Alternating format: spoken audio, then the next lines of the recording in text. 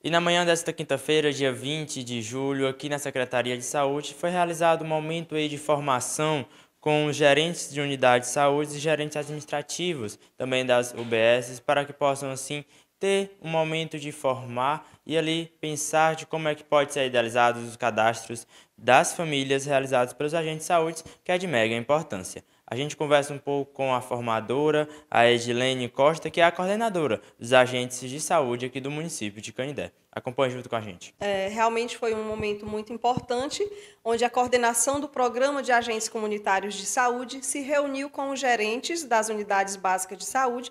e agente administrativo com o objetivo de dar mais qualidade e uma maior importância no cadastro das famílias do município de Canindé, que é realizado pelos agentes comunitários de saúde.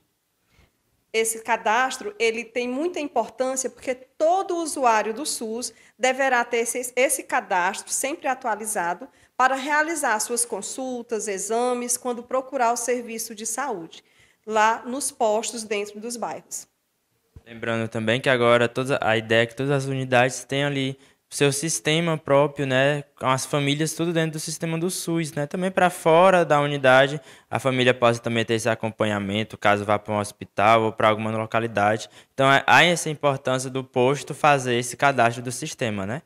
Na verdade, é, o agente comunitário de saúde, ele é o profissional responsável pelo cadastramento de todas essas famílias do município, tá? E uma vez que a família esteja cadastrada, realmente na unidade básica de saúde, ele tem o primeiro atendimento, né, onde é identificado o nome completo, é, onde mora, qual o bairro, e ele faz qualquer atendimento que ele precise dentro da unidade.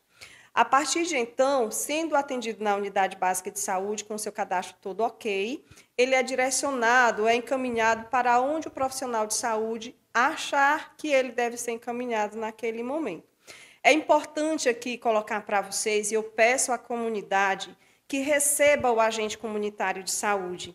porque é um profissional de extrema importância que está ali para contribuir, para ajudar ao, ao usuário do SUS ter uma maior qualidade na sua assistência quando procura o serviço. Então, fique atento aí, como foi falado pela coordenadora de agentes de saúde aqui do município, Caso alguém chegue aí na sua casa para pegar essas informações da unidade, essas informações básicas, para que você possa ter esse acompanhamento dentro da sua UBS e da sua comunidade. Lembrando a toda a população para ter também aquele cuidado, né, de quando chegar alguém aí na sua casa, ver se ela realmente é da unidade básica de saúde aí da sua comunidade, se ela realmente é seu agente de saúde, para que você também possa passar todas as suas informações com aquela confiança e aquela certeza. As imagens é de Paulo Victor, eu sou Lucas Martins, retornando para os estúdios.